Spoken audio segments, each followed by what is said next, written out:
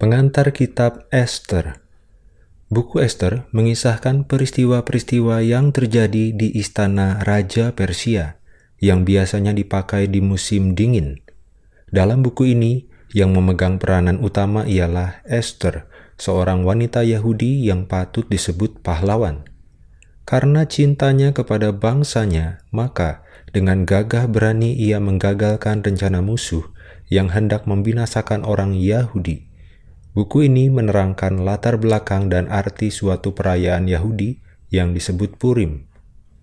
Isi dari kitab Esther antara lain Esther menjadi ratu, Haman membuat rencana jahat, Haman dihukum mati, terakhir orang Yahudi mengalahkan musuh mereka.